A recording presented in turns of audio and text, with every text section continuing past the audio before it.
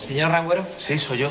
Me presento, soy el doctor Perramón. Acabo de atender a su mujer y ante todo quiero pedirle tranquilidad, ¿de acuerdo? Ha salido todo bien. El niño pesa tres kilos y medio, está sano y su mujer está descansando. Genial. ¿Se ha leído el prospecto? ¿Qué prospecto? Sí, el que le dejamos con las contraindicaciones del niño.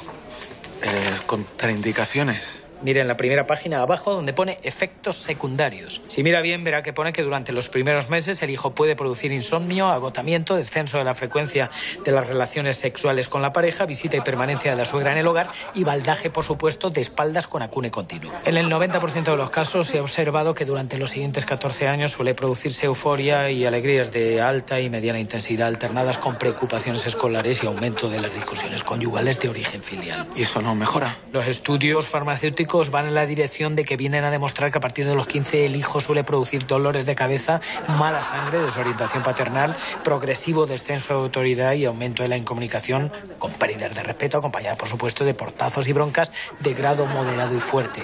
Si el hijo se hace crónico, es decir, que llega a los 35 en domicilio paterno, se produce enquistamiento en sofá y consola, carencia de oficio ni beneficio y arramblaje de todo lo vivo en nevera y cartera paterna por ingestión masiva de sopa boba. Nos metemos a ser padres sin leernos verdaderamente los prospectos y luego vienen los ayayáis y los madre mías. Que lo echen en salmuera y avisa a quirófano 13.